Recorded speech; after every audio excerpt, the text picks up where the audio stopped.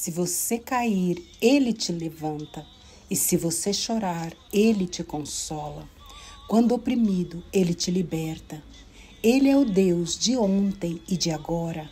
Declara que você é um vencedor. Esta é a vitória que Deus te mandou. Salte para cima, atravesse o abismo, sai deste calabouço. Você é um vencedor. Ele é o leão da tribo de Judá. Já entrou na guerra para guerrear.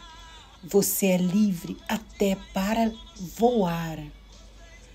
Não volte para o lugar de onde o Senhor Jesus te tirou. Glória a Deus, meu Pai. Palavra, que música linda. Eu gosto muito desta letra desta música, é muito forte.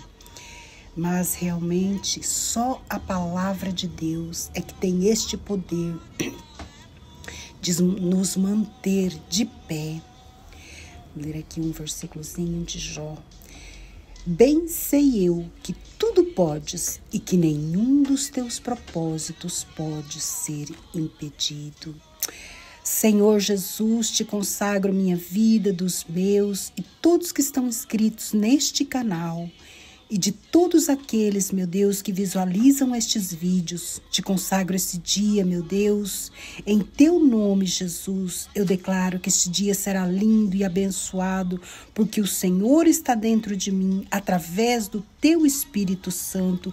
Exijo que nenhum mal sucederá contra a minha vida, nem contra a vida da minha família, meu Deus, nem dos meus enteados, nem do meu esposo, nem daqueles que visualizam esses vídeos e que vêm, meu Deus, aqui neste canal, meu Pai, que estão aqui inscritos, os meus amigos, meu Deus, também, ó Pai, todos os nossos projetos, todos os nossos sonhos, planos que vêm do Senhor, Pai, não daquilo que vem da nossa carne, mas aquilo que vem do Senhor, seja consagrado, abençoado e santificado neste dia. Abençoa o meu casamento, abençoa toda a minha vida, meu Deus, e declaro, meu Pai, em nome do Senhor Jesus Cristo, que nenhum mal nos sucederá, que nenhuma arma forjada contra a nossa vida no dia de hoje não terá efeito jamais. Quero deixar aqui, como sempre, sempre que Deus toca, às vezes eu faço só uma oração, às vezes é só a leitura da palavra, mas às vezes Deus toca algum testemunho que eu me lembre e então Quero finalizar esses sete dias desse propósito de mudança de visão e declarar que Deus mudou verdadeiramente a minha visão, o meu interior. No dia que eu comecei esse propósito, é, o meu coração estava a passar por uma situação a qual eu estava assim sentindo meu coração um pouco endurecido, vamos dizer assim, porque às vezes a pessoa passa por uma situação e que a gente quer ver a solução. É, você vai, passa um dia, dois, um ano, dois anos, três anos, quatro anos, e chega um momento que você fala assim: não, é, ou é ou não é, ou Deus muda ou Deus não muda. Não pela nossa arrogância, é, mas porque às vezes temos que tomar algumas decisões que nos custa, né? Mas tem que ser tomado, tem que ser tomado. É, não não adianta protelar, né? Então, nesse neste quando comecei, eu pedi para Deus mudar a minha visão, porque só através de uma mudança de visão eu poderia ver aquela situação mudada, porque eu sabia que pela minha capacidade humana eu jamais conseguiria. Jamais conseguiria ter a certeza convicta e absoluta vinda do Senhor. E então, eu estava orando esses dias e já neste final de semana eu vi um testemunho muito lindo, muito lindo, que quebrou meu coração, quebrou completamente. Eu fiquei assim, como se diz, desarmada. E então, um, o testemunho de uma mãe, né? E qual é a mãe que, que não se quebranta diante do testemunho de uma outra mãe?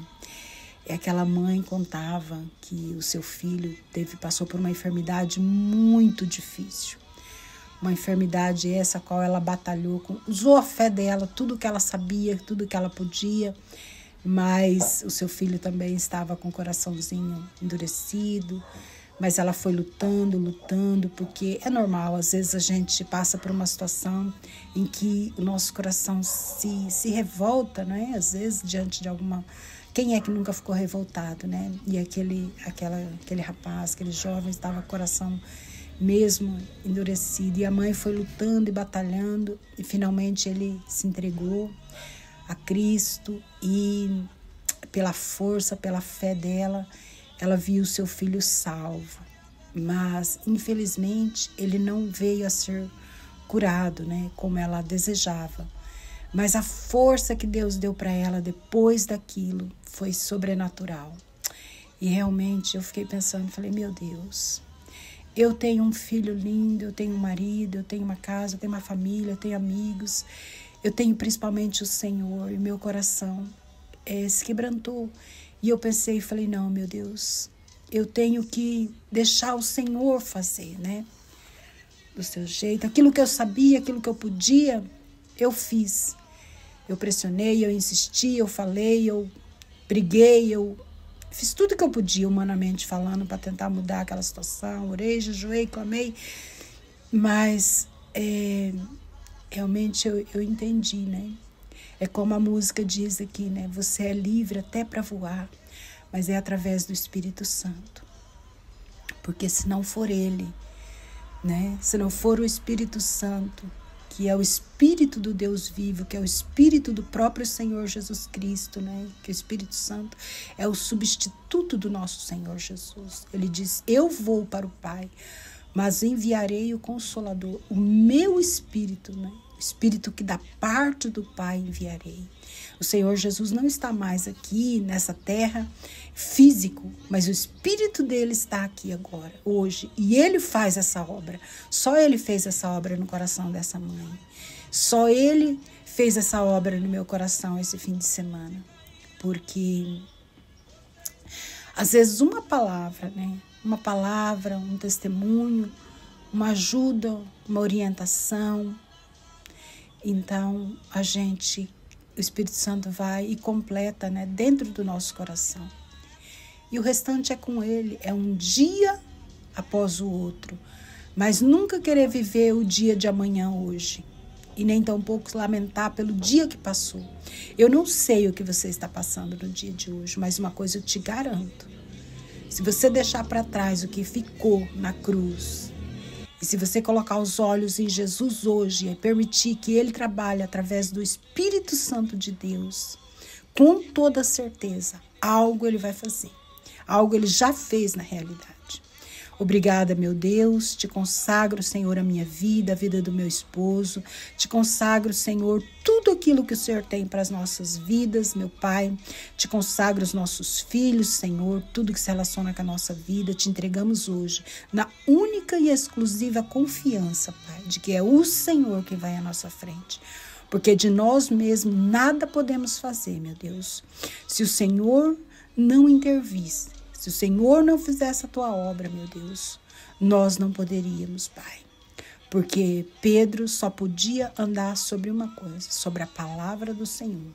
Se o Senhor não dissesse, vem, jamais ele poderia, porque se ele desse um passo, ele ia parar no fundo do mar.